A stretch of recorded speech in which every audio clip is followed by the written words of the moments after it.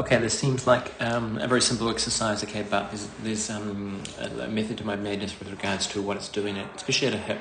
So we want to go and create stability around our hips and we can just do um, weight transfer, so balance one leg onto the other with, with a bar on our back. And when we put a bar on our back, to go and then go and stabilize. The idea at the start is to keep the weight low, okay, but then as you as you get as it gets easier and easier, we want to go and put quite a lot of weight on, okay, because just holding on to weight will challenge those muscles that stabilize the hip.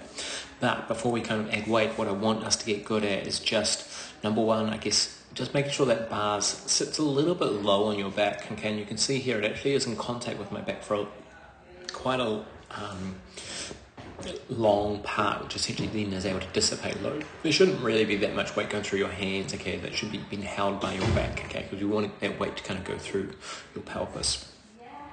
So essentially what we're doing here is we're just we're creating a weight, um, weight bearing, okay, on this side here.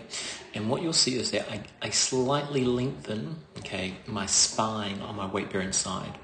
The effect of that is, is the bar actually drops a little bit on my non-weight bearing side, okay. And so the second thing I want you to see is that, you know, lengthening again through my weight bearing side is that you'll see my hip you'll see my hip on the swing side, on my non-weight bearing side, just comes up a little bit.